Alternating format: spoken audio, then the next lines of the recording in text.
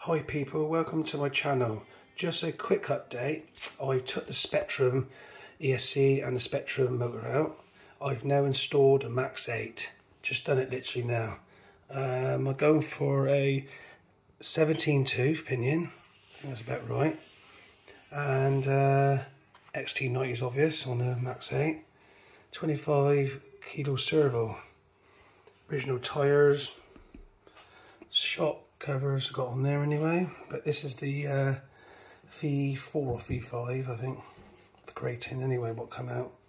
Part of the spec is not very good, so more performance on the Max 8. Yeah, so it's just a quick video, guys. Um, I'll let you know when I do some speed runs and race around the fields and that. Alright? And you like and subscribe.